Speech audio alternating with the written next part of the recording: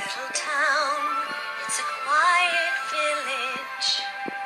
Every day, like the one before.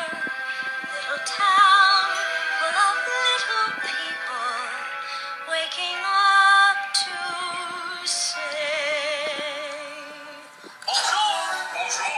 Bonjour! Bonjour! Bonjour! There goes the baker with his tray, like always. The same old bread and rolls to sell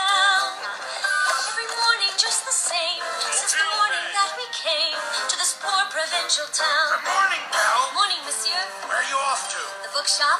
I just finished the most wonderful story about a beanstalk and an ogre. Oh, that's a... nice. Marie, the baguettes, hurry up. Look, there she goes. The girl is strange, no question. She's ready, you tell? In the of any crowd. Was I in some horn, some cloud? Illuminati.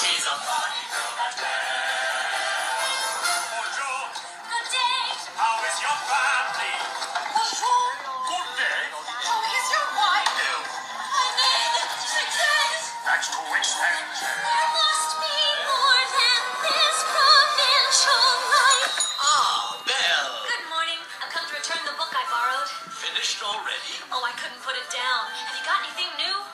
Not since yesterday. That's all right. I'll borrow this one. That one.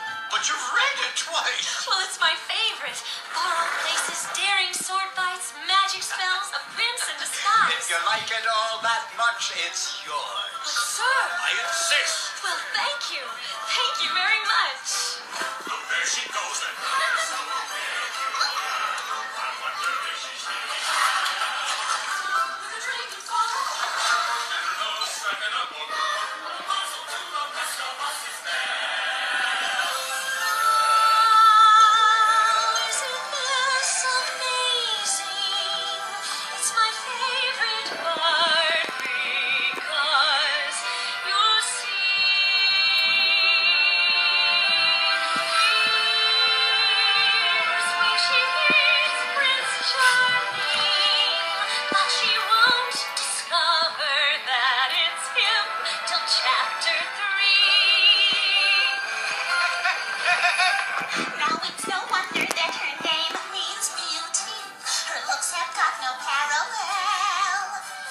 Behind that fair facade, I'm afraid she's rather odd. Very different from the rest. She's nothing like the rest.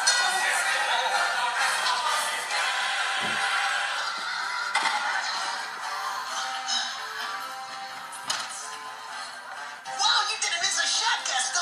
You're the greatest hunter in the whole world. I know. no beast alive stands a chance against you.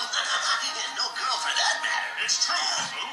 And I've got my sights set on that one. Oh, the inventor's daughter? She's the one. The lucky girl I'm going to marry. What, she... The most beautiful girl in town. I know, but... Who makes her the best? And don't I deserve the best? Oh, well, of course. I mean, you do, but... But from the moment when I met her, saw her, I said she's gorgeous and I fell.